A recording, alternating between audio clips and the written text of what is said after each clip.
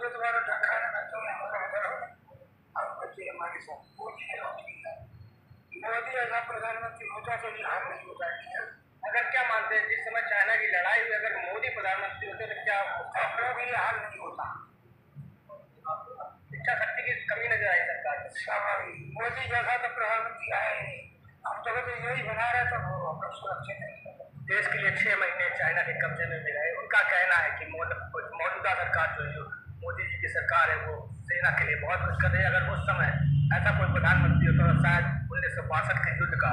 रूप कुछ और होता। विपक्ष